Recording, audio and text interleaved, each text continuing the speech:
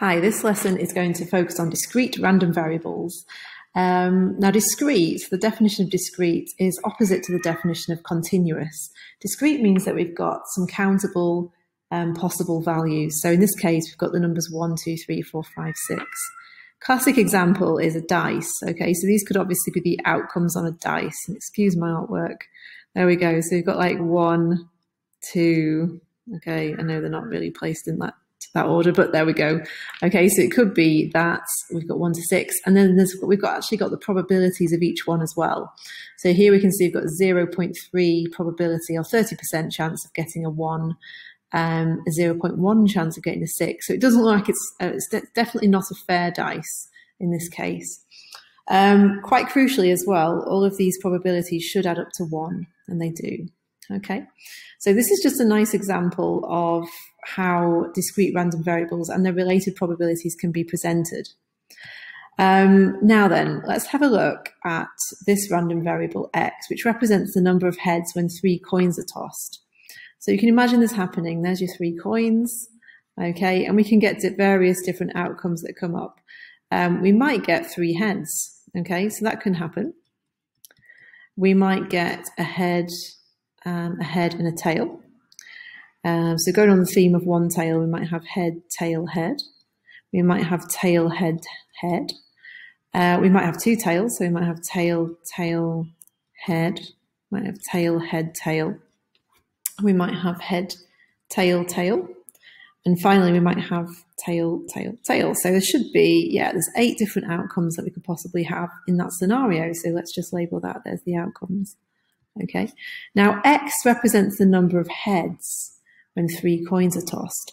So we're going to actually draw out now the probability distribution for that particular discrete random variable x. Okay, now we can have three heads happen. We can have two heads happen. We can have one head happen. And we can also, in the case of tail, tail, tail, we can have zero heads. Okay, now here we've got the probability that x equals x.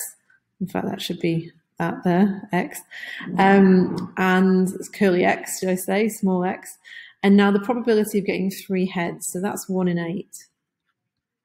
Um, so assuming that these are fair coins, of course. Um, how many of these outcomes have two heads in them? Um, so we've got one, two, three of those, so three eighths. Um, how many of them have one head? Three of them, three eighths and how of them how many of them have zero heads? Well that's just the tail tail so that's one eighth so here we go. There's the probability distribution for that particular random variable x of which the mini values you know the values that it can take are small x. Sorry that should be the curly x. So the probability that the number of heads equals x are these and they do add up to 8 eighths don't they? 1 plus 3 plus 3 plus 1 is 8 8 eighths equals 1 all right now, here's how a question might be presented in an exam. So we have a discrete random variable x with the probability function. The probability that x equals x is k 1 minus x all squared, and 0 if, um, so that's for x is minus 1, 0, 1, 2, and 0 is the probability if we've got x values otherwise, okay? So what that really means is, and what I prefer to do excuse my wonky table, but I do like to do a table to show this. So I've got my x values that are given to me. So I've got minus 1, I've got 0, I've got 1, and I've got 2. Now, there's no chance of any other x values happening, okay, because it says the probability of any other ones is 0 otherwise. So here we've got the probability that we have that particular x value. Um, now, how would we work these out? We work them out using this formula. So if x is equal to negative 1, we can see that the probability that x equals negative 1 is equal to k brackets 1 minus negative 1 all squared. Okay, now 1 subtract negative 1 I know is 2, so it's 2 squared times k. So this is actually going to be equal to 4k.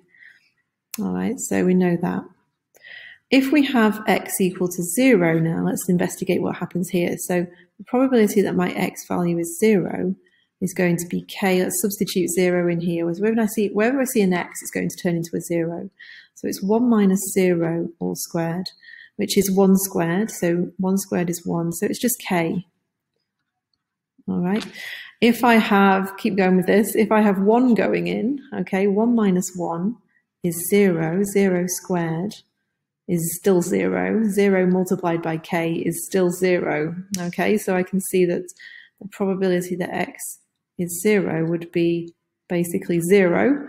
And if I can just squeeze in the last one, I've got 2 going in. So the probability that x is equal to 2, how am I going to be able to squeeze this in, is going to be k times 1 minus 2 all squared. And 1 minus 2 is minus 1. Minus 1 all squared is 1. So that's equal to k. So yeah, okay.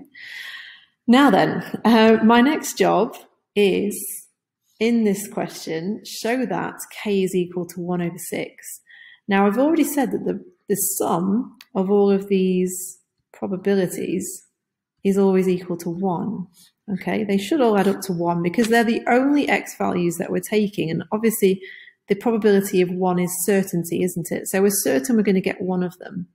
Now, what I can see here is therefore that 4k, if I add them up, so the sum of all these probabilities, 4k plus k plus 0 plus k must be equal to 1, therefore. And if I, if I simplify this left-hand side, I've got 4k, 5k, 6k. So 6k equals 1. I can see where I'm going here. k must be equal to 1 over 6 as required. Okay. Hope that's clear. All right, let's have a look at another one.